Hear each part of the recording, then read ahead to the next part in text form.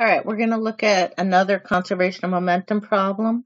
And this again is a classic physics problem. So it says a five kilogram bullet is shot through a one kilogram wood block. So I'm going to call MA the bullet, which again, I want to convert to kilograms right away so I don't forget 0.005 kilograms.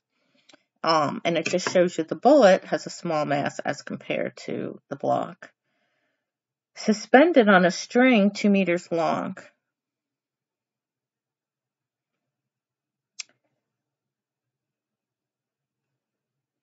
The center of the mass of the block is observed to rise 0.45 centimeters, so I call that h. Find the speed of the bullet as it emerges from the block if its initial speed was 300. Okay, so I'll change the centimeters to meters. And I don't think I have to do anything. So we're going to look at this basically as a system. Now, before we go and do anything, we want to visualize. So this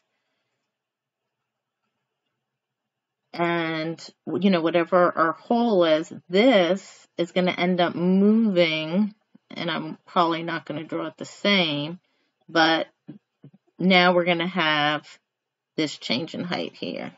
Okay, so now it's telling us it goes up a certain height.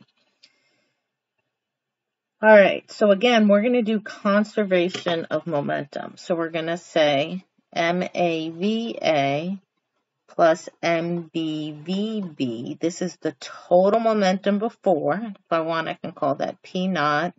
Again, is equal to PF.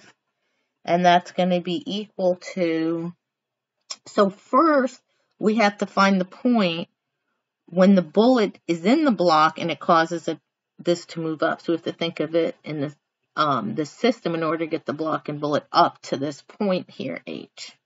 So we're going to say MA plus MB times V prime. Now initially the block is at rest, so because VB is zero,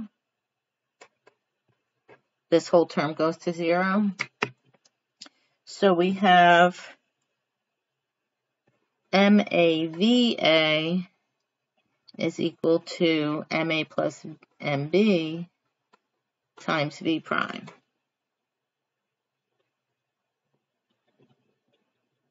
Now, what else do we know? If we that's conservation of momentum. If we do conservation of energy, because this looks like a pendulum problem. The total energy here is equal to the total energy here. So at the bottom, it's all kinetic energy. Up here, it's all gravitational potential energy. So now if we do, do conservation of energy, and we say E naught is equal to EF, again, at the bottom, you're going to have K naught plus U naught, and at the top, you're going to have KF plus UF. And remember, at this is our frame of reference, the bottom. Um, the gravitational potential energy is zero, and at the top, it's at rest, so it's all, um, so there's no kinetic. So the kinetic energy down here is equal to the potential energy here. So down here, and this is once it's the bullet, it now makes it go up, we're going to have here 1 half MA plus MB time squared is equal to MA plus MB, so it's MGH, because kinetic energy is equal to 1 half MV squared, and gravitational potential energy is MGH. All right. So if I'm looking over here and I want to solve for B prime,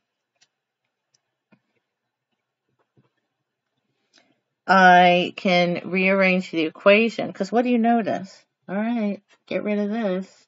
So now I have 1 half of v prime squared is equal to gh. So I'll multiply by 2. So v prime squared is equal to 2gh and then take the square root of both sides. So I have v prime is equal to the square root of 2gh. So that's equal to the square root of 2 times 9.8 meters per second squared. times the height, which is 0.0045 meters. And again, I couldn't do my conservation of energy because why? I didn't know V prime. Okay. So when you're not sure how to do a problem, you go to the end and then you just kind of work backwards. So then when I put all this on my calculator, I get V prime is 0.297 meters per second. And once I have this, now I can go back to my conservation of energy, which I had in the beginning, and rearrange this equation here. So I'll just write it over. MAVA plus 0 is MA plus MB times B prime. And now um,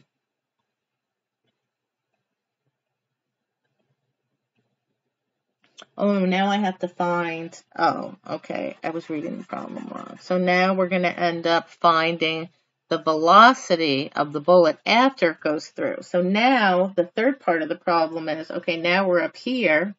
Now I have this. Now the bullet goes out of the block and what's the mass of that?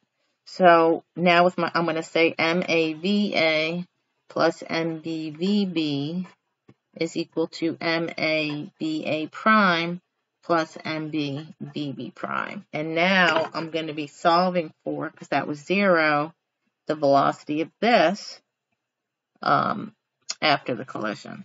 Okay. So when I rearrange that, I want to solve for this. So I'll move this on the other side. I'll have MAVA minus MBVB prime over MA is equal to VA prime. So now I'm going to have 0.005 times 300 minus 1 times 0.297 divided by 0.005. And when I do that, I'm going to get my final answer. Um,